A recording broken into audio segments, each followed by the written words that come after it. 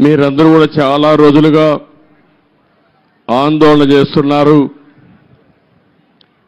పదహారు వందల ముప్పై ఒక్క రోజులు ఆందోళన చేసి ఈ ప్రభుత్వం వచ్చిన తర్వాత మళ్ళీ అభివృద్ధి జరుగుతుందనే నమ్మకంతో ఆందోళన అజిటేషన్ విరమించారు.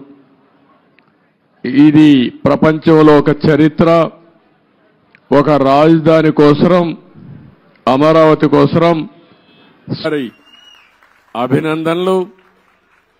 మీ చొరవ మీరు పోరాడిన విధానం చూస్తే ఇది భావితరాలకు కూడా ఒక ఆదర్శంగా నిలిచిపోతుంది.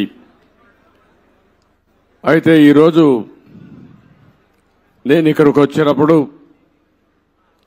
అమరావతి అనగానే ప్రపంచమంతా కూడా గుర్తించే పరిస్థితికి వచ్చారు.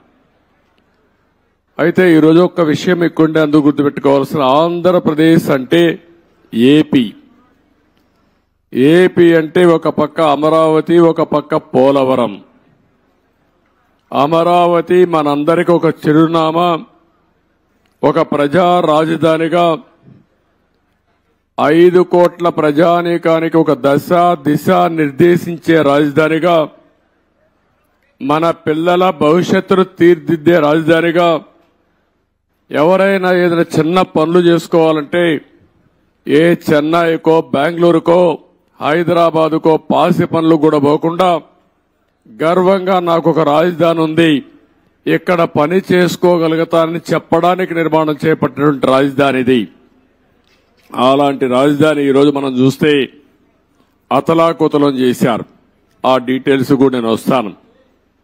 అదే సమయంలో పోలవరం.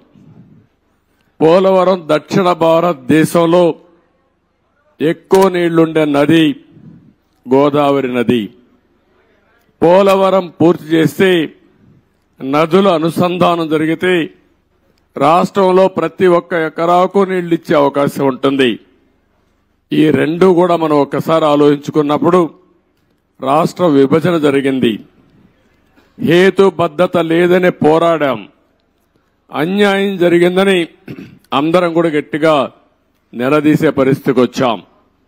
ఆ సందర్భంలో ఒక ఆర్థిక నగరమైనటువంటి హైదరాబాద్ నగరం తెలంగాణ రాష్ట్రానికి వెళుతుంది కాబట్టి మళ్ళీ ఇక్కడ ఒక నగరం కట్టుకోవాలంటే దీనికి తోడ్పాటు ఇస్తామని ఇంకొక పక్క పోలవరాన్ని పూర్తి చేస్తే ఈ రాష్ట్రానికి కొంతవరకు వెసులుబాటు వస్తుందనే ఉద్దేశంతోనే ఈ రెంట్కి కూడా విభజన చట్టంలోనే ప్రత్యేకంగా మెన్షన్ చేస్తూ ఒక పక్క పోలవరాన్ని జాతీయ ప్రాజెక్టుగా అమరావతికి ఆర్థిక సహాయం చేయడానికి ముందుకొచ్చారు. అయితే ఈరోజు మనం చూస్తా ఉంటే మొన్నే పోలవరం పోయి వచ్చాను. నా ఆవేదన చెప్పాను. కొన్ని వందల సార్లు వర్చువల్ రివ్యూ చేశాను. ఇంకొక పక్క నేరుగా ఫిజికల్గా నలభై నలభై రెండు ముప్పై ఒక్క సార్లు వెళ్ళాను. కానీ ఈరోజు పోలవరాన్ని గోదావరిలో కలిపేసే పరిస్థితికి వచ్చారు. ఈరోజు ఏం చేయాలని అర్థం కాని పరిస్థితి.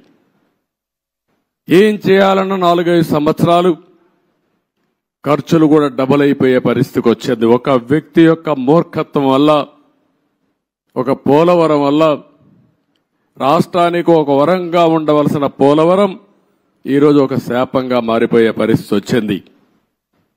అది నేను మొన్నే మాట్లాడాను మళ్ళీ నేను మాట్లాడతాను.